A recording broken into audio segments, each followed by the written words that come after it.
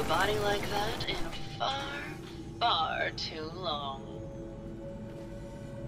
You're not so bad yourself. You should have seen me before all this. Red hair that was the envy of every girl and legs for days, darling. I'm sure you'd rather hear some of my stories from the silver screen rather than talk about that nasty murder business.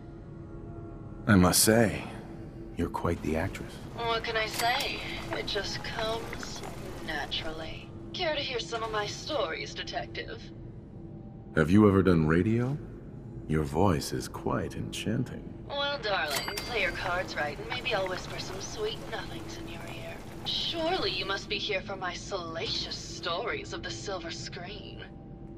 I must say, I've known flesh and blood girls who aren't half the woman you are. Keep it up, Tiger, and we'll find out if you can handle how much woman I am. Surely you must be here for my salacious stories of the silver screen.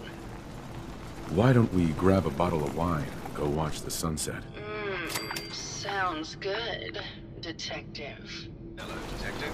How can I help? Did you have questions about the case?